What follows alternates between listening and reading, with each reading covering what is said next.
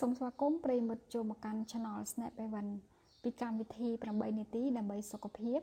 តែងតែផ្ដល់ជូនលោកអ្នកនៅអត្ថបទព័ត៌មានល្អៗនិងមានប្រយោជន៍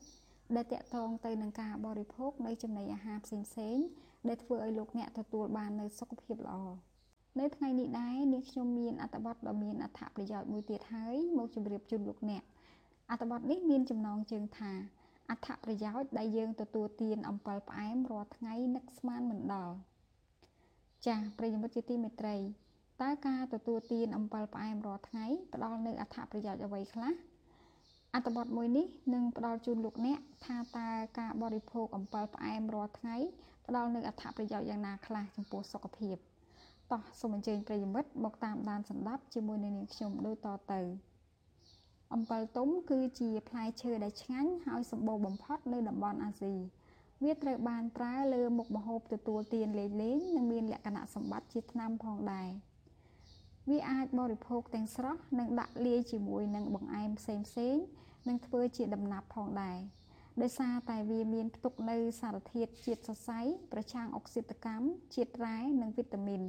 នេះគឺជារឿងកើតឡើងនៅពេលដែលលោកអ្នកទទួលទានអំពិលផ្អែមជាប្រចាំ។ អត្ថប្រយោជន៍របស់អំពិលផ្អែមមានដូចជា ទី1បញ្ចុះជាតិកូលេស្តេរ៉ុលទី2គ្រប់គ្រងជំងឺទឹកនោមផ្អែម ទី3ពង្រីកប្រព័ន្ធភាពស៊ាំទី4ជួយសម្រកទម្ងន់ទី5ល្អសម្រាប់ប្រព័ន្ធរំលាយអាហារទី6ជំរុញដល់លំហូរឈាម